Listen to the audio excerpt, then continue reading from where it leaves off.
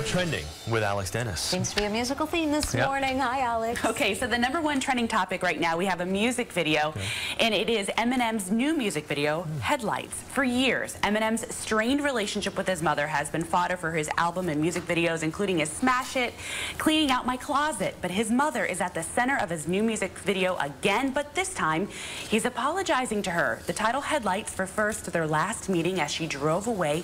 He became fixated on the headlights of the car as he coped with feelings of, quote, overwhelming sadness, he raps. Fittingly, he dropped his new music video, shot on location in his native Detroit, on Mother's Day. Hmm. And people are still talking about Cher's Dress to Kill tour stop at the Barclays Center Friday. The 68-year-old wore head-turning costumes, as always, and her hairstyles get bigger and better, belting out those catchy hits like The Beat Goes On, If I Could Turn Back Time, and The New Women's World. Have you ever seen her, Chris? She's phenomenal. Yeah. Cher wasn't the only big-name star to make an appearance during Cyndi Lauper's opening set. Rosie O'Donnell and Liza Minnelli joined in to sing, of course, Girls Just Want to Have Fun.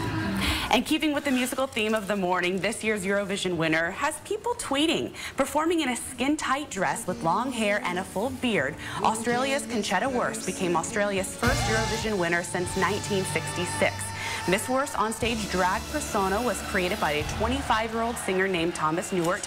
Conchita won the contest with the song titled Rise Like a Phoenix. Now, her beard is trending as people post pictures of famous faces with facial hair, including the Queen, Angelina Jolie, Kim Kardashian, and of course, Justin Bieber. I think that's as much of a full beard as he'll, he'll ever get. The Eurovision competition was created following World War II to encourage good relations between countries. It draws a television audience of about 180 million people in 45 countries, so it's a really big deal. Hmm. Yeah, no wonder it's trending. Mm-hmm. Yeah. Wow, heavy duty. So there, something All to talk Alex, about, right? For sure. Thank you so As much. always, thank you, Alex. 640.